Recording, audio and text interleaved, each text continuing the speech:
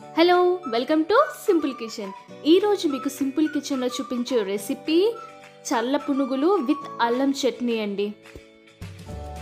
ఈ వర్షాకాలంలో వేడి వేడి పునుగులు ఇలా వేసుకుని దీంతో పాటుగా కారం కారంగా తీయ తీయగా ఉండే అల్లం చట్నీతో నంచుకుని తింటే ఉంటుందండి.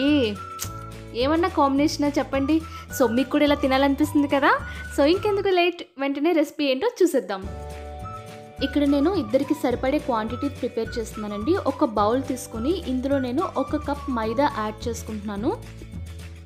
ఇప్పుడు మైదా ఎంత క్వాంటిటీలో తీసుకున్నానో సేమ్ క్వాంటిటీలో కొంచెం పులిసిన పెరుగు కూడా తీసుకోవాలండి. అలానే నేను ఇప్పుడు ఒక కప్ ఇడ్లీ పిండి రవ్వ కలిపిన ఇడ్లీ పిండి ఉంటుంది కదా అది కొంచెం పులిసింది. మరీ ఫ్రెష్ది కాకుండా పులిసింది ఉంటుంది కదా అది ఒక కప్ నేను యాడ్ చేసుకుంటున్నానండి. మీకు ఒకవేళ ఈ పిండి అవైలబుల్గా లేదు అంటే కనుక ఉప్మా రవ్వ కూడా యాడ్ చేసుకోవచ్చు. దీనివల్ల ఏంటంటే క్రిస్పీగా వస్తాయన్నమాట మనకి.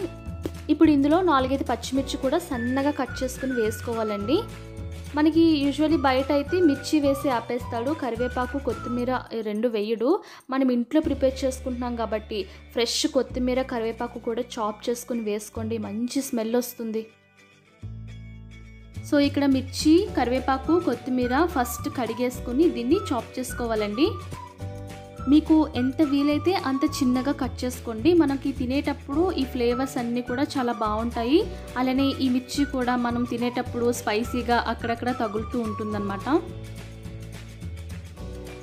ఈ తరిగిన పచ్చిమిర్చి అలానే కరివేపాకు కొత్తిమీర కూడా ఈ పిండిలో మనం యాడ్ చేసుకోవాలి.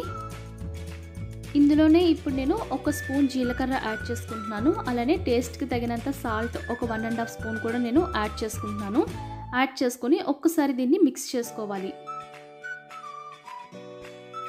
ఇప్పుడు ఇందులో నేను రైస్ ఫ్లోర్ అంటే బియ్యం పిండి ఉంటుంది కదండి అది నేను ఒక టూ స్పూన్స్ యాడ్ చేస్తున్నాను. ఈ బియ్యం పిండి వల్ల మనకి ఆయిల్ అనేది పీల్చదనమాట అలానే కలర్లో కానీ ఇంకా టేస్ట్లో కానీ ఇంకా క్రిస్పీనెస్లో కానీ ఈ బియ్యం పిండి చాలా హెల్ప్ అవుతుంది మనకి. ఇప్పుడు చిటికెడంత వంట సోడా కూడా వేసుకుంటున్నానండి. సో ఇవన్నీ వేసుకుని కొంచెం మనకి వాటర్ పోసుకొని మనం బజ్జీల పిండి ఎలా కలుపుకుంటాం ఆ కన్సిస్టెన్సీ వచ్చే వరకు కొంచెం కొంచెంగా వాటర్ పోసుకొని బాగా కలుపుకొని ఇదంతా కూడా మనం ఒక వన్ అవర్ పక్కన పెట్టేసుకోవాలి.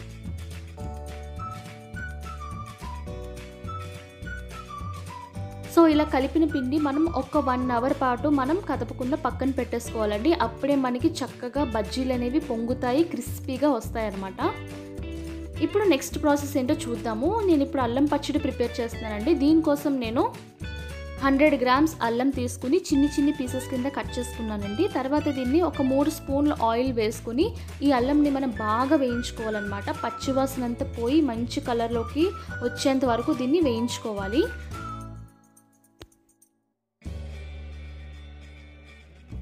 ఇలా వేయించుకున్న అల్లంలో ఇప్పుడు నేను పచ్చిమిరపకాయలు యాడ్ చేసుకుంటున్నానండి. ఇవి మధ్యలోకి కట్ చేసుకున్నాను. వంద గ్రాముల అల్లంకి సుమారుగా నేను ఒక పదిహేను గ్రీన్ చిల్లీస్ తీసుకున్నానండి. ఈ రెండు కూడా బాగా ఫ్రై చేసుకోవాలి.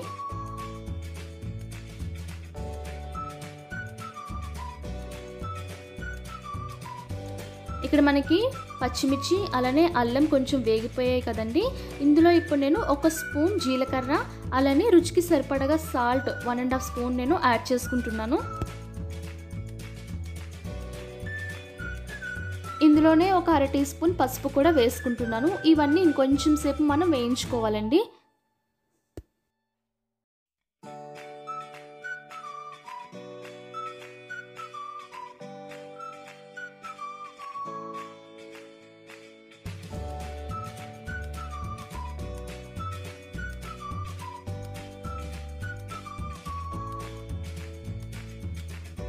ఫైనల్గా ఒక మూడు నాలుగు ఎండుమిర్చి కూడా వేసుకొని ఒక నిమిషం పాటు వేయించుకొని స్టవ్ ఆఫ్ చేసి చల్లారనివ్వాలండి.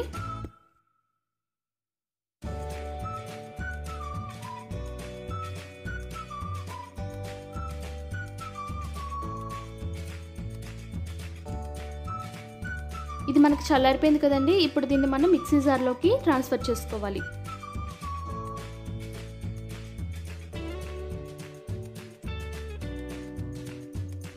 అలానే ఇందులో నిమ్మపండు సైజ్ అంతా చింతపండు నేను ఆల్రెడీ నానపెట్టుకున్నాను. సో అది యాడ్ చేసుకుంటున్నాను. అలానే తీపికి మనం బెల్లం కూడా యాడ్ చేసుకోవాలి. నేనైతే రెండు స్పూన్లు బెల్లం యాడ్ చేసుకుంటానండి మీరు మీ టేస్ట్కి తగ్గట్టుగా యాడ్ చేసుకోండి. సో ఇదంతా పేస్ట్ చేసుకొని ఒక బౌల్లోకి ఇలా తీసుకోవాలి. నెక్స్ట్ మనం దీనికి పోపు పెట్టుకోవాలన్నమాట.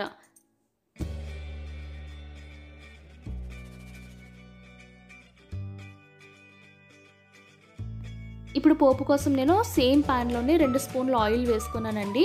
ఆయిల్ కొంచెం మరిగిన తర్వాత ఒక హాఫ్ స్పూన్ ఆవాలు ఒక హాఫ్ స్పూన్ జీలకర్ర అలానే ఒక రెండు ఎండుమిర్చి వేసుకుని ఫ్రై చేసుకుంటున్నానండి. ఫైనల్గా ఒక రెబ్బ కరివేపాకు కూడా వేసుకుని దీన్ని కొంచెం ఫ్రై చేసుకుని స్టవ్ ఆఫ్ చేసేస్తున్నాను. ఇప్పుడు ఈ పోపుని మనం మిక్సీ చేసి పెట్టుకున్న పచ్చళ్ళలోకి వేసుకోవాలండి. సో ఇక్కడ మనకి తీయ తీయగా ఘాటు ఘాటుగా ఉండే అల్లం చట్నీ కూడా రెడీ అయిపోయింది. ఈ అల్లం చట్నీ మనం ఇడ్లీలోకి కానీ దోశలోకి కానీ వేటిలోకైనా కాంబినేషన్గా తీసుకోవచ్చండి. బాగుంటుంది. ఇప్పుడు మనం చల్ల పునుగులు వేసుకోవాలి కదండి. సో దీనికి నేను ఆయిల్ పెట్టుకొని మరిగించుకున్నానండి. ఇప్పుడు కొంచెం కొంచెంగా నేను చేతిలోకి పిండి తీసుకొని పునుగుల్లాగా నేను ఆయిల్లో వేసుకుంటున్నాను. ఇవి మనం చిన్న సైజులో వేసుకోవాలి. మనకి యూజువల్గా ఇవి స్ట్రీట్స్లో మనకి మిర్చి బజ్జీ వేసే ప్లేస్లోనే ఈ పునుగులు కూడా వేస్తూ ఉంటారండి. ఇవి వాళ్ళు చాలా రీజనబుల్గా కూడా అమ్ముతుంటారు. చక్కగా ఒక ప్లేట్లో ఈ వేడి వేడి పునుగులు వేసి రెండు రకాల చట్నీలు వేసి పక్కనే కట్ చేసిన ఆనియన్స్ కూడా వేసి మనకి అలా ఇస్తూ ఉంటారనమాట భలే అనిపిస్తుంది తినడానికి. ఇలా వేసుకున్న పునుగుల్ని గోల్డెన్ కలర్ వచ్చేంత వరకు మనం ఫ్రై చేసుకోవాలండి.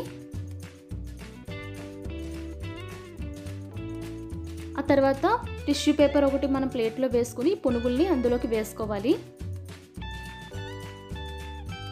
మనకి ఈ పునుగులు అయితే రెడీ అయిపోయినాయండి. ఇప్పుడు ఇవన్నీ కూడా తీసుకొని మనం టిష్యూ పేపర్లో వేసుకుందాము.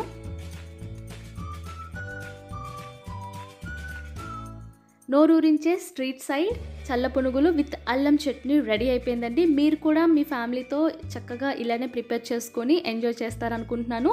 మీకు కనుక ఈ వీడియో నచ్చినట్లయితే లైక్ చేయండి షేర్ చేయండి. అలానే ఇప్పుడే ఎవరైనా కొత్తగా నా ఛానల్ చూస్తున్నట్లయితే సబ్స్క్రైబ్ చేసుకోండి. Thanks for watching.